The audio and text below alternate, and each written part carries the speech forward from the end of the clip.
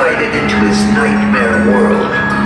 Don't look him directly in the eyes, or you will be doomed to be his plaything and just another one of his broken toys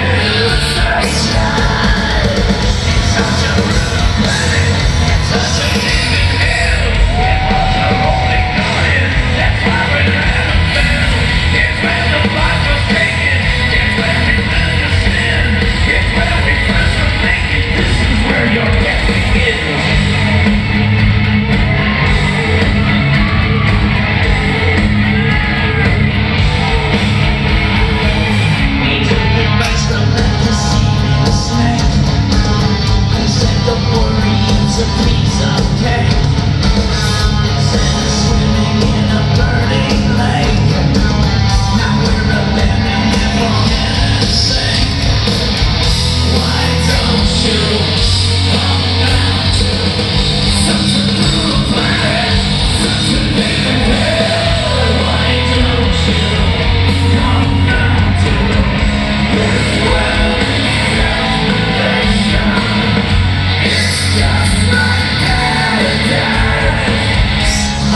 you.